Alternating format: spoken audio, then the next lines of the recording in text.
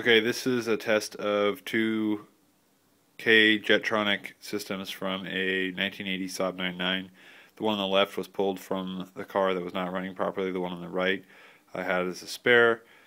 So I'm looking at the plungers and I'm noticing that my spare, when I drop it, will slowly fall or get stuck sometimes.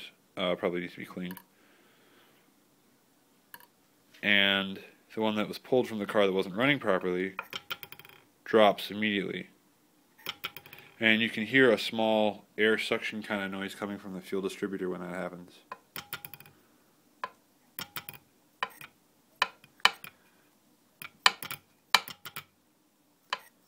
There we go. But notice the difference versus so I'm going to try this one.